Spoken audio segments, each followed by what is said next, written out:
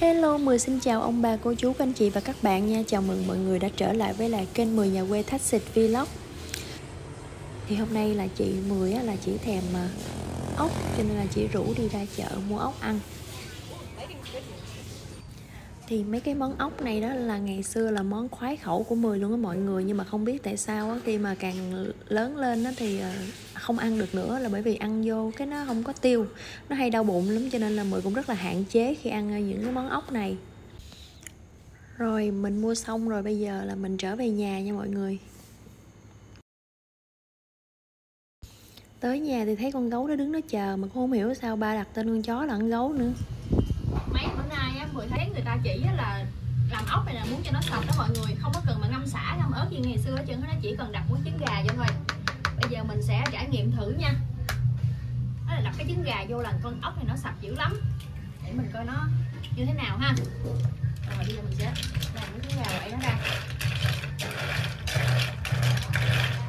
Thử coi có người những lời mà người ta nói có sự thật không nha mọi người.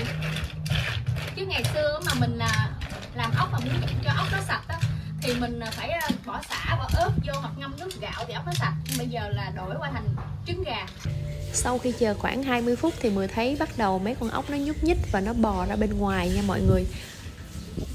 Thì chắc cái lúc này là nó sẽ nhả những cái nhớt ở trong người nó ra và nó rất là sạch luôn. Như vậy cái này là là đúng sự thật nha mọi người. Mười thấy làm như vậy sau khi rửa con ốc thì nó rất là sạch luôn xong cái là anh bảy anh đem đi nướng tiêu cho cả nhà ăn. À, chị gái của mình thì thôi mê lắm luôn ăn quá trời. Còn mình thì mình không có ăn được nha mọi người. Tại vì là ăn vô là nó lâu tiêu lắm. Cho nên rất là hạn chế cái món này. Đây rau muống xào tỏi cá lóc đồng mà ướp xả ớt chiên. Cơm ngon đó mọi người. Rau muống xào tép rang với lại cá lóc cá lóc muối xả ớt chiên ăn với canh khoai mỡ. Cái món này là hồi nhỏ mùi rất là thích ăn cho nên là bây giờ ba má với lại mấy chị nấu cho ăn. Rất là ngon luôn xong bữa cơm chiều thì mình ăn trái cây thì em khỏi nói cả nhà cũng biết là trái cây ở Việt Nam chắc chắn là rẻ hơn bên Mỹ đúng không mọi người? À, măng cục hiện tại bây giờ là chỉ có 35 ngàn một ký thôi còn seri này là bẻ trong vườn ra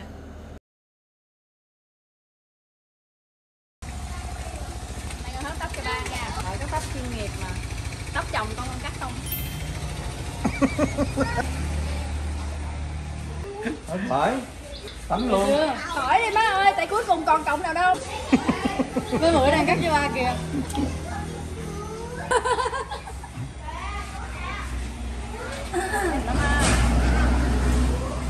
Giỡn hoài. Cái này bà biết sao không? Cái này là lần đầu tiên con cắt tóc luôn á. What? Ngồi ngồi im luôn, không phản ứng luôn